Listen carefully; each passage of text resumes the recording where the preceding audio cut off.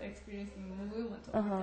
how and this was initiated and Mm-hmm. encouraged by Gulen. How would you uh, just describe his role in building peace? Um, a lot of it's tolerance of others and and knowing your faith and being all okay with your faith and you know sharing whatever you have with others.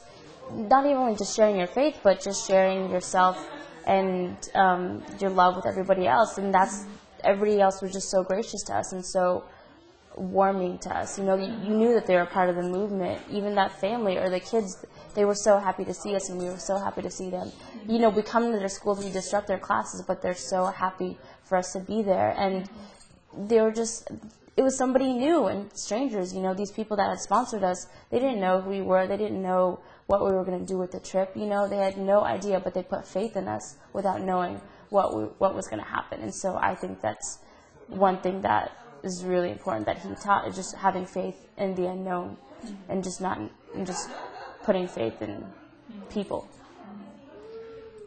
Share with us any any experience or story that you had Um, Um, um, well, I, I did a lot of shopping, and that was fun.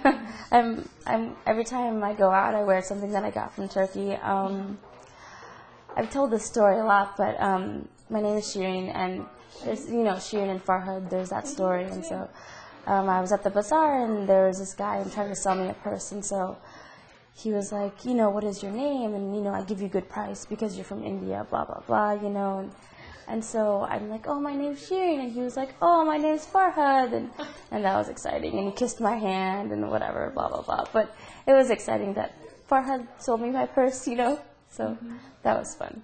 That was the favorite part. Thank you hmm Thank you so much.